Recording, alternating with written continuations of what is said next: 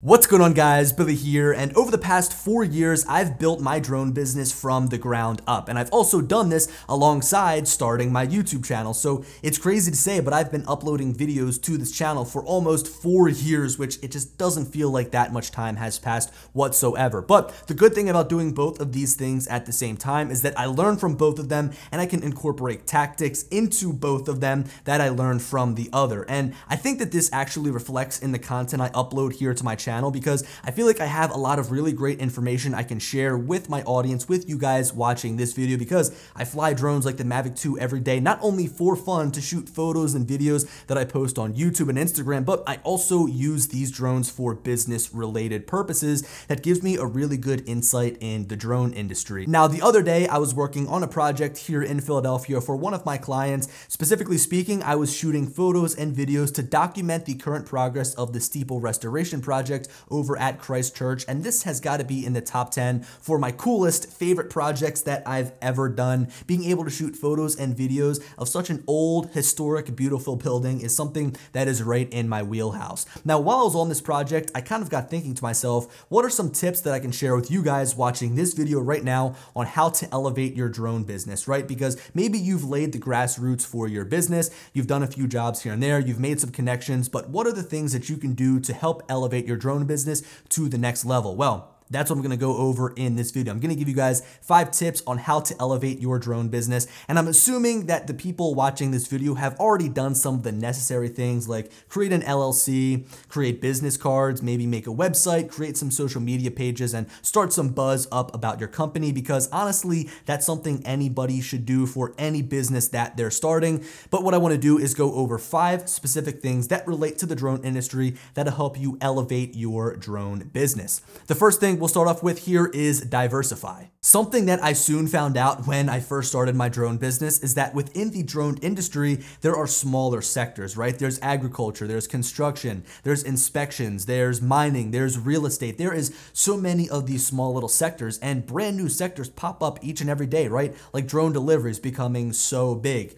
And I went into this whole drone thing saying, I'm only gonna shoot drone videos for construction companies. Well, how many construction companies do you think only need drone video? Not a lot. They also want photos. They also want mapping sometimes, right? There are so many different sectors so, the first tip on my list of five tips to help you elevate your drone business is diversify. Make yourself available to do more things than just one specific niche, right? Don't go out there thinking, I'm only gonna serve construction companies and I'm only shooting photos because chances are, if you don't master all of these traits, then a construction company or a potential client might choose somebody else that can. I learned this the hard way because I've definitely missed out on working with certain people because I don't offer specific services or I didn't offer specific services in my beginning stages of this business. But since then, I've broadened out. I'm now shooting for real estate agents. I'm shooting for construction companies. I'm shooting for structural engineers. I'm shooting for people who have farms and I'm catering to their needs. So for construction, maybe you're focusing on closer up areas of a building. And maybe for real estate agents, you're focusing on the larger property. So you've got to understand how to diversify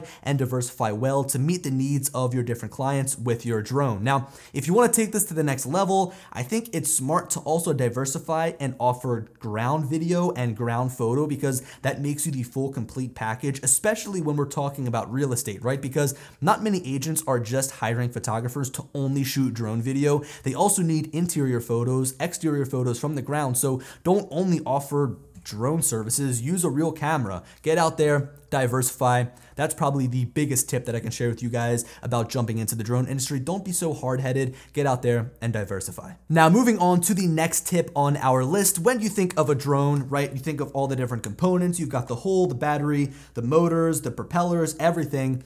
But all of that is surrounded around the camera. This right here is what's going to make you money in your drone business because a lot of the things that go on in this industry revolves around aerial images, photos and videos taken from the sky. So if this is one of the most important things, then that means that learning how to use it is very important. That's why the second tip on how to elevate your drone business is learning good shot composition, learning how to properly expose your images, and also just learning basic camera knowledge. When I think of the people that make up the drone industry, I break them up into into three different people. There's those that were photographers and videographers that want an aerial based platform to shoot aerial images. You've got pilots, people who maybe potentially originally flew like model airplanes, or maybe people that originally flew manned airplanes or say manned helicopters that want something that's unmanned. And then you've got people that just think that it looks cool and aren't from either of those groups of people. And I find that when people are trying to start a drone business and they come from a photography or videography background, they likely have an easier transition because it's easy to get down the controls of the drone, these things honestly fly themselves at this point with the different sensors and the different intelligent flight modes, but being able to compose a shot, properly expose it, and also having basic camera knowledge really does give the photographers and videographers that start a drone business a leg up. And I would say that if you're somebody who doesn't have much experience using a camera, use your phone, pick up an old DSLR, go and buy a camera that's used, and get to know how to properly compose your shots and learn some of the different tactics on how to nail your exposure. Learning things like the aperture, the ISO, the shutter, because all those things come into play no matter what you're doing in the drone industry. When you're mapping, you need to know that you need to use a higher shutter speed so that the picture is not going to be all blurry. When you're shooting real estate photos, you want to know that you're using a high aperture so that none of the uh, photo is going to be out of focus. When you're shooting construction, you might want to use a higher shutter speed so that you freeze all the motion in the frame because there could be a dump truck dumping dirt out, they could be pouring cement, workers could be working. You want to make sure you freeze all that action. So a lot of the camera basics are going to apply when you're flying drones, and if you don't have that background already, it could be a little bit tough. So to help elevate your drone business, my second tip is to make sure you get out there and you learn the basics of how to shoot with a camera because it's going to help you a ton when you get into shooting photos and videos with a drone. Now, moving into the third tip on our list, it would be to purchase aviation insurance for your drone business. You might be sitting there watching this video scratching your head like, why do I need aviation insurance? I'm not flying a plane, I'm not flying a helicopter, but uh, crazy enough, drones are lumped in with those types of vehicles. So I shopped around for a couple of different quotes for small business insurance. Uh, specifically, I went with State Farm. A lot of the other people turned me down instantly as soon as I said anything about drones. They say, we don't insure aircraft, and that was pretty much the end of the conversation right there. But I got as far as getting a certificate of insurance with State Farm. I was covered for about a month, and then they dropped me because they ultimately didn't cover aircraft. So from there, I went with Bullock Agency Inc. This is in no way sponsored by them, but I just want to give them a friendly plug here because they really did help me out in a pinch. I got my certificate of insurance in like literally a day from them. They're very fast working. They give you a portal, you log in, it's very easy. I've got my Mavic 2 insured, I've got my Inspire 2 insured. Uh, I've also got up to like $2 million of liability insurance, I believe, and I only spend like $1,500 per year. So it's very affordable, it's very good, specifically with Bullock Agency. But shop around, see if you guys can get better quotes because in order to take yourself to the next level, your business to the next level, you're gonna have to have insurance because while you can do some one off jobs for a construction company, maybe for like a smaller home, or maybe if you're working for like a real estate agent, they might not ask for your uh, insurance. They might not even ask for your Part 107, but for the larger projects like the one I was telling you about with Christ Church, they required insurance immediately. It was like a no brainer. I had to have it. So to elevate your drone business, definitely want to get some aviation insurance. Now, moving on to the fourth thing here understand what equipment you need, not what equipment you want. This is something that I can speak about from experience, and I think that anybody who flies drones, anybody who is a photographer or a videographer knows the struggle of wanting every piece of gear that you get your eyes on, right? First, you want the camera, then you want the lights, then you want the microphones, and then you want the different flashes. I mean, there is so many different things to go out there and buy, but there's gotta be a limit that you reach and you say, look, I don't need any more And when we're talking about a specific drone business, there's really not a whole lot that you need. So it might be easy to say, look, I'm starting a drone business. I need to go and buy an Inspire. I need a Mavic 2 for this job. I need a Phantom for this job. Oh, I might need a Matrice for this job because I might get a thermal job.